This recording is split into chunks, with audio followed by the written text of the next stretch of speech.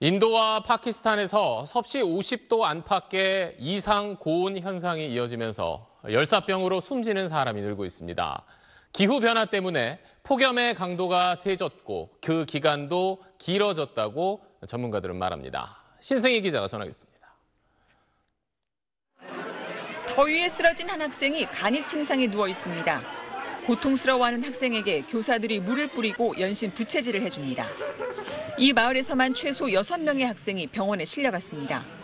ये electrolyte imbalance हो रहा है उसके चलते तो ये लोग बच्चे को बेहोशी का चक्कर आना उल्टी होना ये सब हम्म, लक्षण दिखाई दे रहा है 낮 최고 기온이 섭씨 50도를 기록한 인도 라자스탄주에선 일용직 노동자 12명이 열사병으로 목숨을 잃었습니다.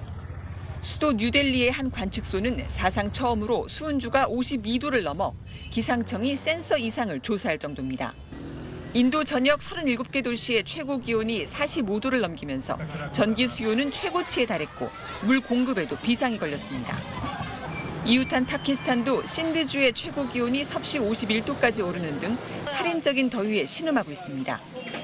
ਗਰਮੀ ਬਹੁਤ ਜ਼ਿਆਦਾ ਹੈ ਸਰ ਜੀ ਤੇ ਲਾਈਟ ਵੀ ਨਹੀਂ ਆ ਰਹੀ ਘਰ ਤੇ ਫੈਮਿਲੀ ਬੱਚਿਆਂ ਨੂੰ ਲੈ ਕੇ ਇੱਥੇ ਆ ਗਏ ਆ ਨਹਿਰ ਤੇ 남아시아는 간혹 여름철 기온이 50도까지 오르기도 하지만 최근 들어 기후 변화로 인해 폭염의 정도가 강해지고 지속 기간도 길어지고 있습니다.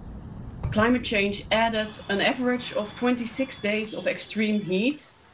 So we have nowadays a lot more extreme heat than we used to.